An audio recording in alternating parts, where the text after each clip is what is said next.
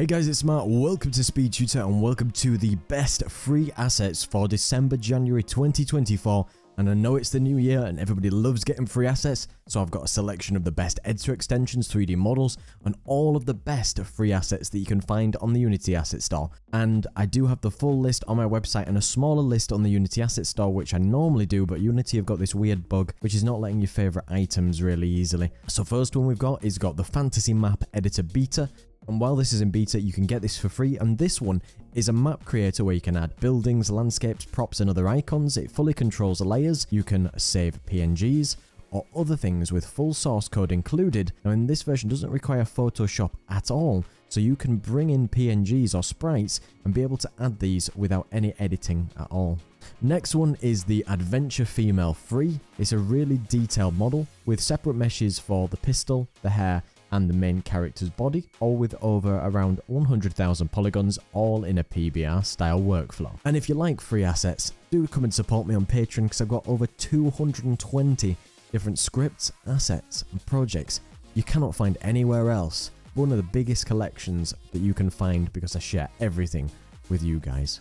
Next one is something called Bike Balance, and this is a realistic physics system and has two wheel colliders with rigid bodies, and it allows you to manually control the steering and the angle, specifically to controlling a bike within midair. Next one is the simple and powerful inventory system, which could well be a really great start to collecting items, being able to stack such items, and to be able to um, work this into your own project with its own save system to save the state of the inventory seamlessly. Next one is the low poly nature, which is a pack of 44 unique models, a demo scene with lots of props including bridges, cliffs, campfires, dead trees, fences, and more. Next one is something called Whitescape, and it's a minimalistic 1-bit asset pack created in a white and black opposite inverted style. So it includes 40 different props with 21 character sprites configured with tilemap to be able to use this in this unique style. We've got the advanced runtime console, which allows you to get specific information like in-game time,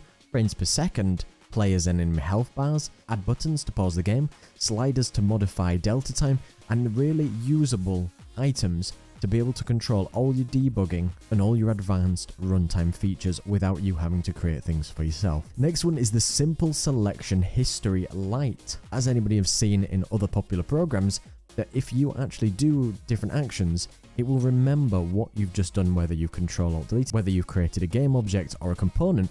Now this allows you to click back and go backwards to a specific point that you might have been. Next one is the multi-material static mesh combiner, supported across all pipelines in 2021 and above, so you can optimize your game to create static meshes with tools, combine static meshes, and you can take all these no matter if they have multiple materials or not, and combine them together. Next one is the seasons and weather effects. So if you're making an open world game with, with multiple terrains and different seasons, it includes multiple decal projectors suitable for URP and HDRP, suitable for across all terrains, and you can include wet weather with puddles, rain, fog, and rain, night, winter, autumn, spring, and summer. Lots of examples for butterflies, bees, pollen, beetles, footprints, whatever's suitable for a particular season. The object placement visual effects is a shader with three different object placement effects suitable for RTS games, building games, or other genres like that and it's ideal for prototyping or just getting something where you can learn from it